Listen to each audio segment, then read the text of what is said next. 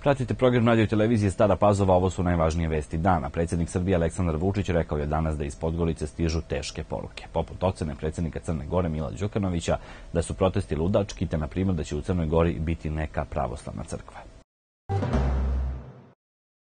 Specijalni zaslanik za dijalog između Kosova i Beograda, Richard Grenell, potvrdio je da se trenutno vode napori za ponovno uspostavljanje dijaloga između Kosova i Beograda. Grenell je rekao da su u njegovim dosadašnjim naporima materializovana dva sporazuma, jedan o avioliniji, o čemu je potpisano i pismo o namerama, a drugi za železničku prugu Beograd-Priština, prenosi Prištinska gazeta Ekspres. Prema njegovim rečima, u tim dogovorima nisu učestvovale ni Nemačka, ni Francuska, ni Evropska unija. Grenell je istakao da su dobrodošli svi koji su zainteresovani da Armagh.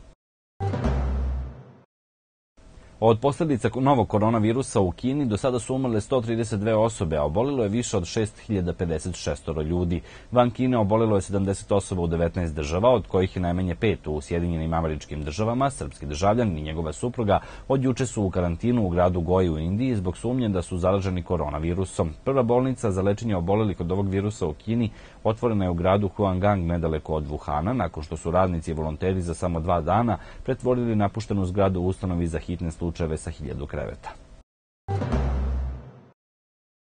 Kabinet ministra bez portfelja zaduženog za demografiju i populacionu politiku raspisao je danas javni poziv za dodelu bespovratnih sredstava lokalnim samoupravama za sufinansiranje mera populacione politike za 2020. godinu. Za ovu namenu iz budžeta je obezbeđeno 650 miliona dinara.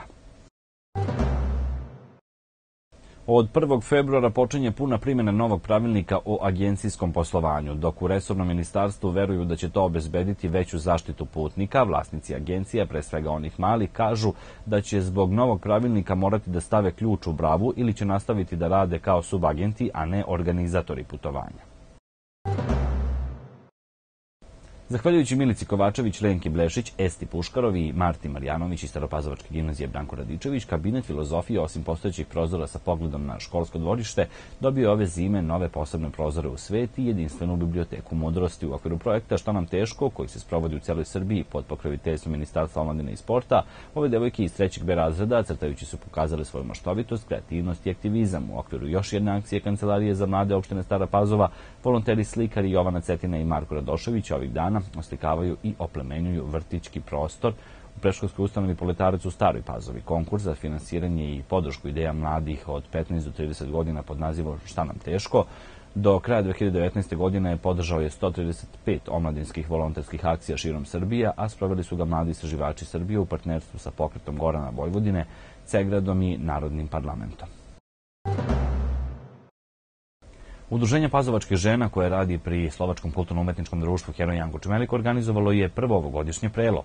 Ovakav vid okupljanja koji ima za cilj druženje u toku kojeg se izrađuju ručni radovi, ali ujedno zbližava ljude, spada u redovne aktivnosti udruženja. U gostima su bile predstavnice udruženja iz šest mesta, čak iz Iloka iz Hrvatske, tako da je ovo prelo imalo međunarodni karakter. Ovom skupu su prisustovali predstavnici škole, crkve, mesnog odbora Matice Slovačke i predstavnici lokalne samouprave na čelu sa predsednikom opštine Đorđem Radinovićem. On je rekao da opština pomaže rad udruženja žena i građana, jer ona svojim radom, rukotvorinama i gastronomiju u najboljem svetlu predstavljaju svoju sredinu na raznim manifestacijama, a ujedno čuvaju od zaborava duh prošlih vremena, kada su ljudi bili bliži jedni drugima i predsednica Nacionalnog saveta Slovačke nacionalne manjine Ljibuška Lakatoš je pozdravljajući skup izrazila zadovoljstvo radom udruženja žena te obećala da će savet i u buduće pomagati njihov rad kao i funkcionisanje asocijacije koja okuplja 24 udruženja iz cele Vojvodine.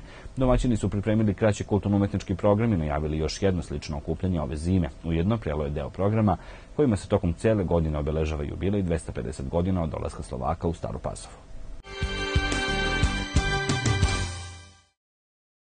Zajtra 30. januára budú v priestoroch divadla v Starej Pazove už po 53. krát vyhlásení tí najlepší športovci a športové týmy našej obce za rok 2019. Ocenenia budú udelené v kategóriách najlepší športovec, najlepšie športové družstvo, najlepší tréner, najlepší športový pracovník, najlepší junior, kadet a pionier, najlepší športovec v rámci školského športu a udelená bude aj cena športovému týmu za propagovanie športu. Udelených bude aj niekoľko špeciálnych špeciálnych cien. Slávnostný program sa začne zajtra o 19. hodine. Organizátorom je miestna samozpráva s podporou Športového zväzu obce Stará Pazova a RTV Stará Pazova.